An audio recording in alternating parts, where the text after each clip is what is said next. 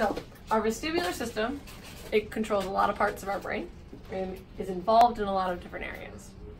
So these little guys right here are where all of our information from our inner ear come in. So inner ear, come in. And then from there, they go all throughout the body.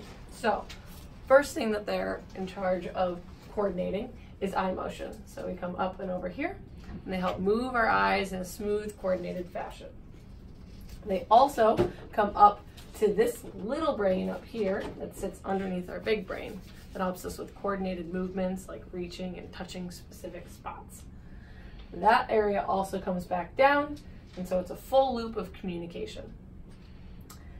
They also communicate down over here to help with eye head motion.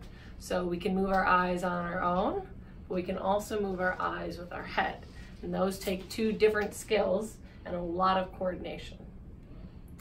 They also come down and help with postural responses. So when we feel like we're falling forward or falling backwards, they help control muscles of our trunk to keep us upright.